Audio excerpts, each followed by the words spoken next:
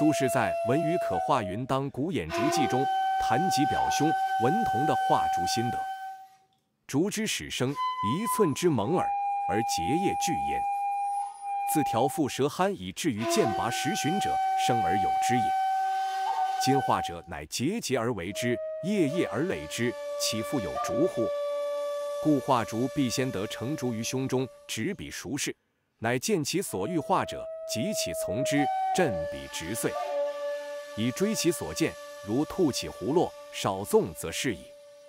要真正实现胸有成竹，心中必须早已备有完整的架构，还要能同时表达出竹竿之刚劲和弹性，竹叶之强韧和轻柔。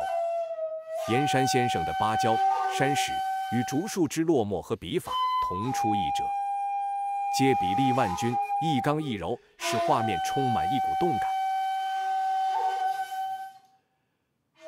画中的竹和芭蕉虽非枝繁叶茂，却奋力的在顽石硬土间向上发展，令人感受到一种顽强的生命本能。